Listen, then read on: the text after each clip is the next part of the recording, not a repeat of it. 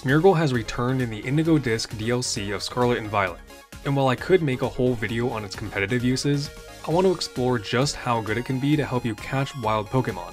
Since it gets every move, you can give it Spore and False Swipe, which is the best combo of moves for catching. However, Spore can't hit grass types, and False Swipe can't hit ghost types. To get around this, you can either use the move Soak or Magic Powder to change their typing to Pure Water or Pure Psychic respectively. This prevents the wild Pokemon's typing from nullifying the effects of Spore and False Swipe, but their ability might still be an issue.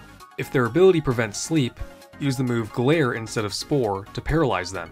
If their ability prevents both sleep and paralysis, use either Simple Beam or Entrainment to change the wild Pokemon's ability, allowing you to inflict status upon them. In the end, Smeargle's moveset should look like this.